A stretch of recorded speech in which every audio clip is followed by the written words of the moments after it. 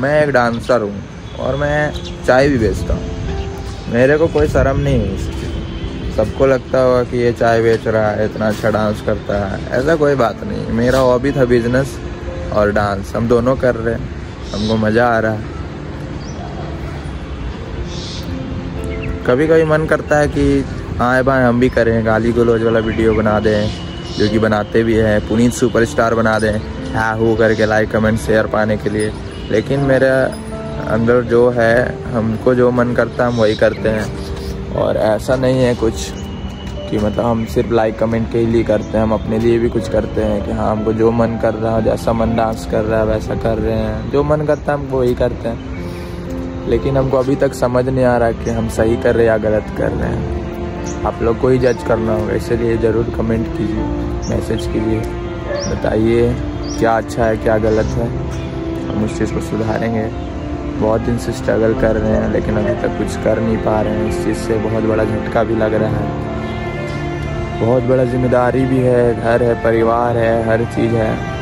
सभी चीज़ करना है अभी मेरे को। मेरे पास कोई कंटेंट नहीं है यूट्यूब के लिए। यूट्यूब में अपना कंटेंट माँगता है। मैं म्यूज़िक वीडियो बनाता था नागपुरी, लेकिन उसमें भी काफ़ी पैसा लगता है। उसमें भी कुछ कमाई समझ नहीं आ रहा। इसलिए मैं उसको भी छोड़ रहा। क्या करूँ, समझ नहीं आ रहा। इसलिए मैं ब्लॉगिंग भी कर रहा हूँ, अपने बारे में बता रहा हूँ। और आज से मेरे पास कोई कंटेंट नहीं है, इसलिए मैं अपना लाइफ का एक्सपीरियंसेस बताऊँगा, ताकि किसी को हेल्प हो सके। जो क्रिएटर हैं, जो डांसर हैं, जो लाइफ में बहुत ज़्यादा सोच रहे हैं। मेरे पास अच्छा खासा एक्सपीरियंस हो चुका है इतना कुछ देखने के बाद। तो मैं ज़रूर आप लोग को बताऊँगा। तो मेरे चैनल को सब्सक्राइब कीजिए। और मैं क्या क्या करता हूँ और क्या क्या नहीं करता हूँ क्या क्या झेला हूँ क्या क्या नहीं झेलता हूँ, सारा चीज़ बताऊँगा बने रहें ब्लॉग में। मैं बचपन से नानी घर में रहा हूँ, क्योंकि मेरा जहाँ घर था कोडरमा में, जहाँ मेरे मम्मी पापा रहते थे, वहाँ का माहौल सही नहीं था। कोई भी बच्चा वहाँ पे सही परिवेश में नहीं रह सकता। इसलिए मेरे पापा मम्मी ने हमको भेज दिया नानी घर रामगढ़ में। हम बचपन से वहीं रहे हैं। मेरा माँ बाप मेरा नाना नानी समझ लीजिए। मेरा माँ बाप का कभी कमी नहीं होने दिया। हमको बच्चा से इतना बड़ा कर दिया, पढ़ाया, लिखाया। मेरे में इतना टैलेंट है तो बस वही लोग का देन है। मेरे में जो भी संस्कार है, बस वही लोग का देन है। बचपन से माँ बाप लोग का प्यार नहीं मिला। जो नाना नानी हमको प्यार किया, बस वही जब हम नौ दस साल का थे, तब मेरी मम्मी छोड़ के चली गई। तो बच्चा थे, बुरा लगा, जो भी था, लेकिन मेरा नानी हमको कभी माँ का मतलब कमी ही नहीं होने दी। मेरा माँ मेरा नानी है। और मतलब बुरा लगा कि मम्मी चली गई, लेकिन फिर भी लाइफ तो रुकता नहीं है ना किसी का। तो बस चलता गया चलता गया सारा चीज़। उसके बाद हम डांस लाइन में आए, पढ़ाई लिखाई में तो मन शुरू से नहीं था उतना क्योंकि हमको एक डांसर बनना था। हम, मेरा भी सपना था कि हम भी डीआईडी में जाएँ डांस प्लस में जाएँ, हमको भी टीवी में आदमी लोग देखे। लेकिन उतना समझ नहीं था ये सब कैसे करना है। छोटा सा शहर रामगढ़ से कैसे क्या करें?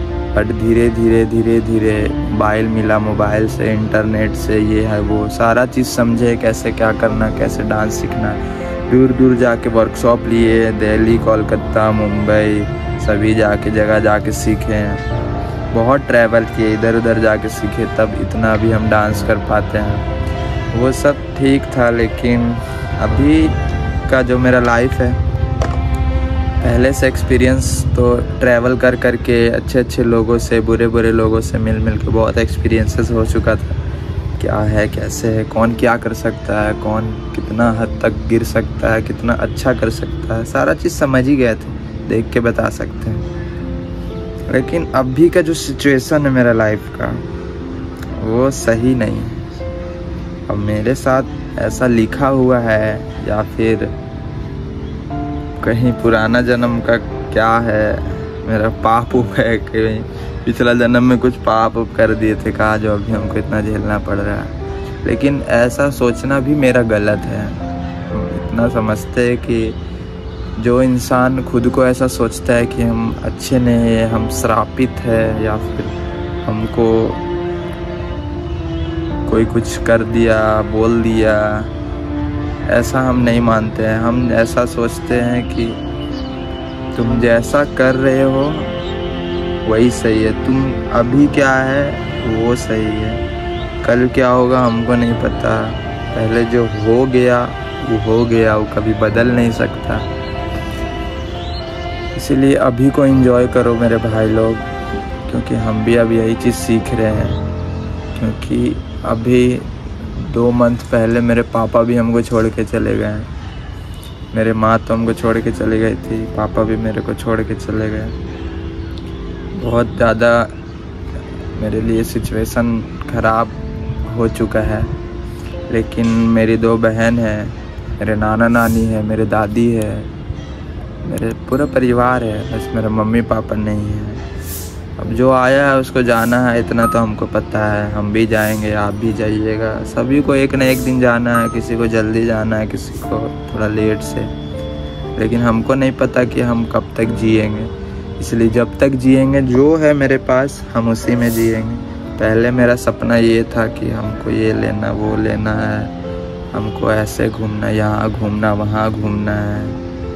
हमको कार लेना है, हमको घर चाहिए, ये इतना पैसा चाहिए। बहुत सोच सोच के स्ट्रगल करते थे कि हमको ये लेना है तो हम उस चीज़ के लिए स्ट्रगल कर रहे हैं। लेकिन हमको अब ऐसा लगता है कि ये चीज़ करके भी कोई फ़ायदा नहीं है।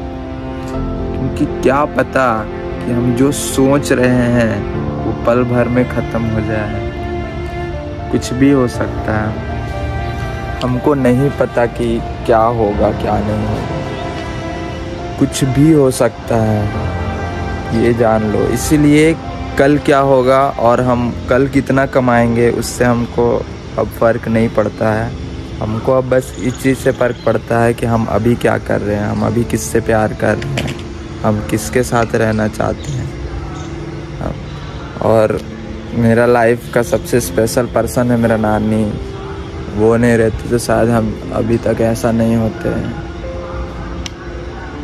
जो भी है ना लाइफ कब कहाँ ले जाता है ना, ये कहना बहुत ज़्यादा मुश्किल है गाइस तो बस मेरा कहना यही है कि अगर आप लोग भी ये सोचते हैं ना कि हम बहुत बुरे हैं, हम कुछ कर नहीं पाएँगे लाइफ में, या फिर हमको कोई वैल्यू नहीं दे रहा है, हमसे कोई दोस्ती नहीं कर रहा है। आपके पास कुछ भी ना हो, लेकिन आप खुश रहने का कोशिश करो इस, जैसे मैं कोशिश कर रहा हूँ और मैं हूँ भी, कोई दिक्कत नहीं है, क्योंकि सारा चीज़ चले जाना है। दुनिया में सब चीज़ रह जाएगा। कपड़ा, ये फ़ोन फ़ोन, बाइक, जिस चीज़ का भी हमको ज़रूरत रहता है, जो भी हमारे सामने रहता कार लेंगे, ये लेंगे, वो लेंगे लन लेंगे, फंद लेंगे, यहाँ घूमें। सब चीज़ यही दुनिया में रह जाना है, इंसान यहाँ से उठ के ख़त्म हो जाना है भाई। इंसान यहाँ पे नहीं रहेगा। इसलिए इंसान का कदर करो, सभी से प्यार करो, एक दूसरे से प्यार करने का कोशिश करो। और खुश रहने का कोशिश करो। इस पल को जो अभी गुजर रहा है, उसमें खुश रहने का कोशिश करो, क्योंकि यही है रियलिटी आगे क्या है, हम लोग को नहीं पता। जो बीत गया वो ख़त्म। अभी क्या है, वही है रियलिटी तो बस रियल रहो भाई। अभी क्या हो रहा है हमारे साथ, दिखावा में मत जियो। ना कुछ दिखाओ और जो दिखावा कर रहा है, उससे भी दूर रहो। बस इंजॉय करो इस लाइफ को और अपने आप से प्यार करो गाइस जैसे हम कर रहे हैं। और सपोर्ट करो भाई, कोई बात नहीं है। एक दिन मैं भी कुछ करूँगा, लेकिन टेंशन लेके नहीं कि हाँ हम भी कुछ करेंगे।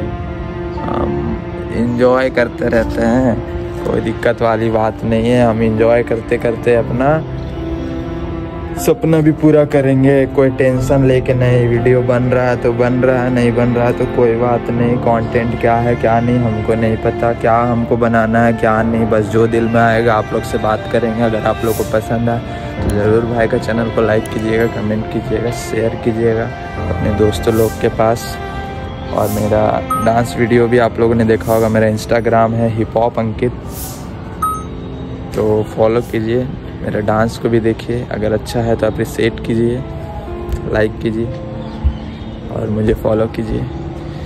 बदले में मैं फॉलो बैक दूँगा। तो बाय बाय